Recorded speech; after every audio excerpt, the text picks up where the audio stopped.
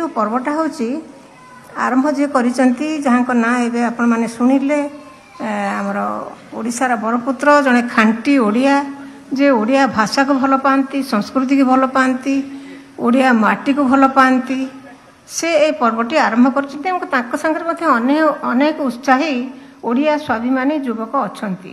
ଜଣେ ଏକା କେହି କେବେ କରିପାରେନି। ସେ ଗୋଟେ ଭଲ ଉଦ୍ଦେଶ୍ୟରେ କାମ କରୁଛନ୍ତି ବୋଲି ତାଙ୍କ ସାଙ୍ଗରେ ଆପଣମାନେ ଅଛନ୍ତି। ତେଣୁ ଏଇଭଳି ଗୋଟିଏ ପର୍ବ ଏଠି ହେଇପାରିଲା। କହିଲେ ଯେ ଏଇଟା ଦିଲ୍ଲୀକି କେମିତି ଆଣିବା ବୋଲି ଆମେ ଚାହୁଁଥିଲୁ। ଦିଲ୍ଲୀ କାହିଁକି? ଓଡ଼ିଶାର ଯେଉଁ ସଂସ୍କୃତି ତାକୁ ଯେଉଁ ଜାଗାରେ ପ୍ରଦର୍ଶନ କଲେ ବି ସଂସ୍କୃତିର ଯେକୌଣସି ବିଭବ ସଂସ୍କୃତି ଏତେ ପରିବ୍ୟା ପରିବ୍ୟାପକ ଶବ୍ଦ ଯେ ତାକୁ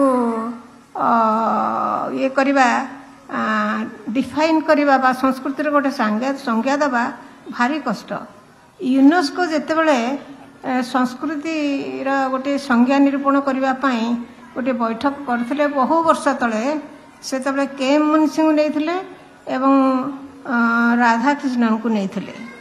ସେମାନେ ବହୁ ଗବେଷଣା କରିକିରି ସଂସ୍କୃତି ବିଷୟରେ ବହୁ ଡିକ୍ସନାରୀ ଦେଖି ଶେଷକୁ ଗୋଟିଏ ଧାଡ଼ି କହିଥିଲେ ଯେ ସଂସ୍କୃତି ବିଷୟରେ କ'ଣ ଆମେ ନିର୍ଣ୍ଣୟ କରିବା ସଂଜ୍ଞା ସଂଜ୍ଞା ଏହା ଏକ କଠିନ ବ୍ୟାପାର ସେ କହିଥିଲେ। ପ୍ରକୃତରେ ସଂସ୍କୃତିର ସଂଜ୍ଞା ନିରୂପଣ କରିବା ଗୋଟେ କଠିନ ବି- ବି- ବିଷୟ।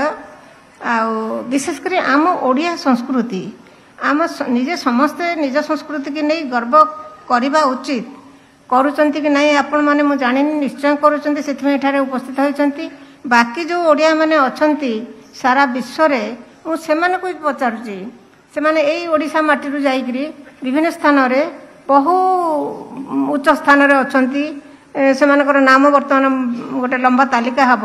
ସେମାନେ ବି ମୁଁ ଓଡ଼ିଆ ବୋଲି ଗର୍ବ କରନ୍ତୁ ଏବଂ ଓଡ଼ିଆର ସଂସ୍କୃତିକୁ ଭୁଲନ୍ତୁ ନାହିଁ ଓଡ଼ିଆ ଭାଷାକୁ ଭୁଲନ୍ତୁ ନାହିଁ।